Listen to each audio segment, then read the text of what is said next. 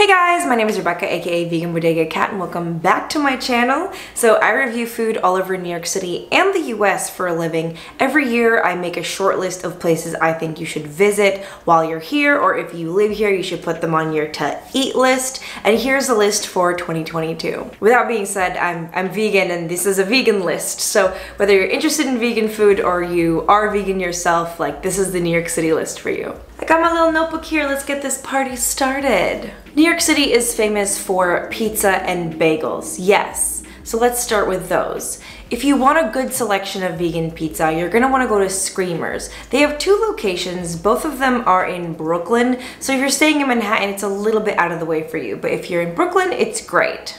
If you don't wanna leave Manhattan, New York City is a pretty vegan friendly place and there are lots of pizza shops with vegan options. But if you want a fully vegan pizza spot with a huge selection, that's really your only bet. As for bagels, there are two places that I trust to give me a good bagel every single time.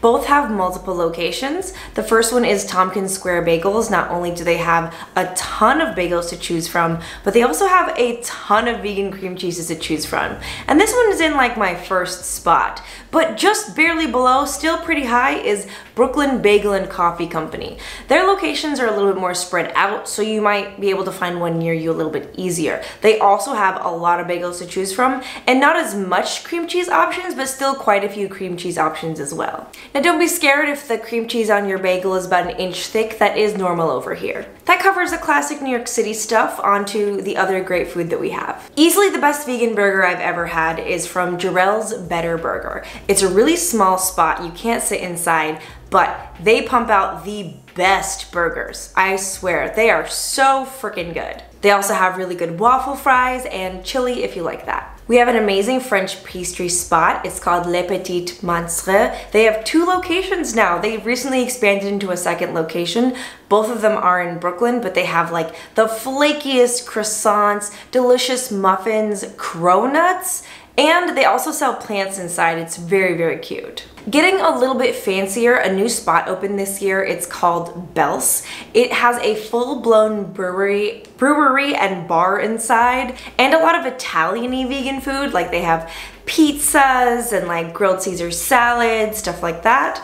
It's a nice place to take a date. I'm a sucker for a good sandwich, so I'll give you a spot in Manhattan and one in Brooklyn. The best sandwich spot in Manhattan is in the Lower East Side. Not only do they do sandwiches and like little macaroni salads and stuff, but they also are a little grocery store as well, and it's called Orchard Grocer. They have a bunch of different sandwich options, but my favorite is probably the Miles, which is like a bacon, egg, and cheese on a croissant. Um, but they also have something called the Monty, which is like an Italian sub. It's really big, very filling, has like cold cut sandwiches, uh, lemon and vinegar salad, pepperoncini, stuff like that. Delicious. They also do soft serve. They have a vanilla that's always available and then they swirl it with a different option for you and that option changes every few months.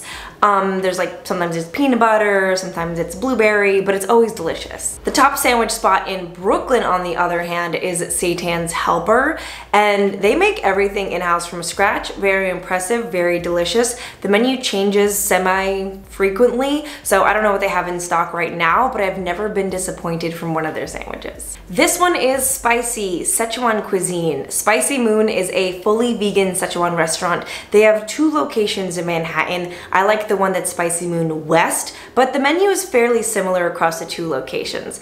I would recommend 100% the eggplant bun, and they have something that's like a dry pepper pot over rice. Delicious. They're also just very friendly. The cocktails are really good. Just a very good vibe in that spot. Speaking of cocktails, one of my favorite places with cocktails is Planta. This place is a little bit more expensive, like a place to get like a bougie brunch or something. But they do have specials, like I think it's half off sushi on Mondays or something like that. Check their website, they have all the specials listed on there. I have a very specific menu for Planta. Listen to me and listen close. If you go to Planta, these are the options you're going to want. Number one, bang bang broccoli. Number two, the torched and pressed. Number three, the Dan Dan noodles, 100%. And my favorite cocktail they do is called the Leech Please. It's like a lychee martini, delicious. And it's so cute too. Now this place has been a favorite for a few years.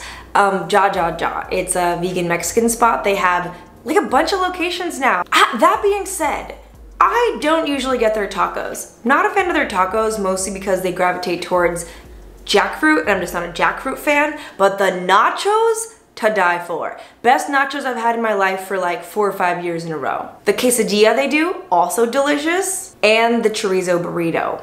Also, great cocktails. There's a theme here. They also have good cocktails. Speaking of Mexican, we also have Pia. Pia is in Chelsea Market, and I have never had refreshing Mexican food before, but that is the best way to describe it. Everything is local and fresh, and you could really taste it in the food. The quesadilla, again, a refreshing quesadilla. It sounds like it doesn't work, but it really does. I really recommend you go there. Last, but definitely, definitely, definitely not least, we have Vegan on the Fly. If you grew up in New York City, then you probably grew up eating halal platters and gyros, and this is the only fully vegan halal spot we have in New York City. I would recommend the Impossible platter, but if you don't like Impossible, they can do the platter with like seitan or falafel, and they can do the same options in like a gyro. They also have good mac and cheese with like buffalo bites on top. Just a great place to get uh, kind of authentic New York City food.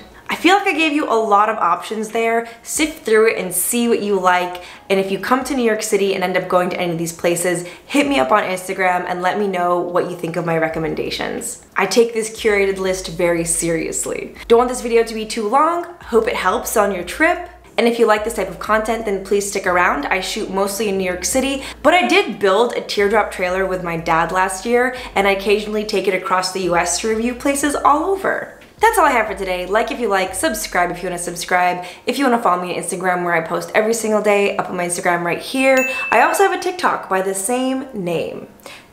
And I will talk to you next time. Enjoy your trip to New York City. Goodbye! Or if you live here, enjoy my curated list.